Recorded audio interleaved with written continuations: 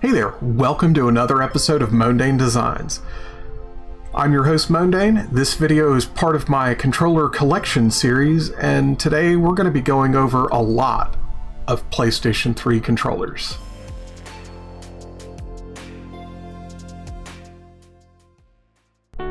Well, welcome back to another controller collection, and honestly, I think that this is probably one of the stranger ones that I've got.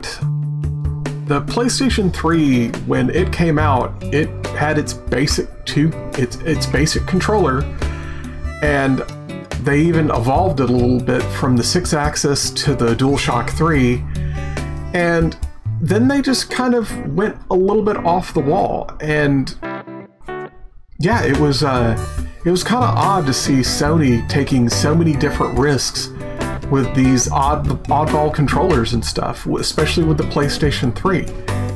But I'm going to go ahead and move on to the next video.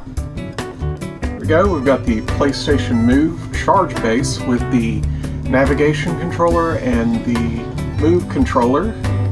Uh, it's basically the same thing as the one for the PS4, except for the connector down here is a little different. Here's the navigation controller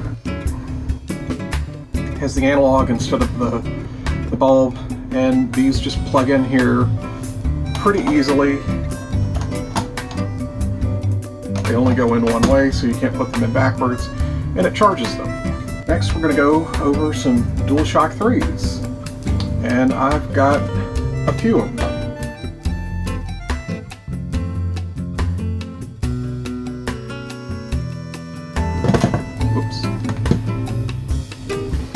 These are the colors that I have. I have red, blue, white, and black.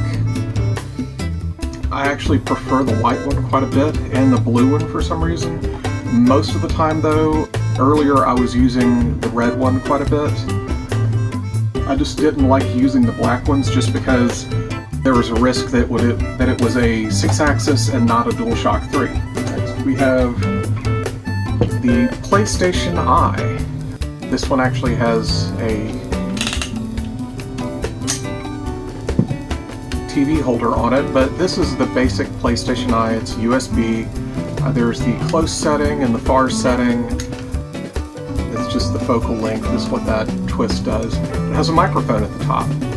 And I, it works pretty well. And finally, we have the PlayStation keyboard.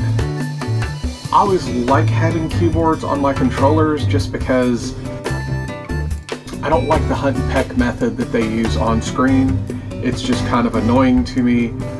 Charges with a USB right there, and it actually clamps onto a controller. I'll grab the white controller and demonstrate clamping it on. So just simply pull this back, it goes over and like that. And it's a little bit on the cumbersome side, and it does not, it's a little front heavy, and you can't you have a hard time plugging into the normal chargers, you have to actually use a cable to charge this one if you're going to do it like that. But I usually just leave the thing not hooked up anymore because there's not much of a need for it that, that.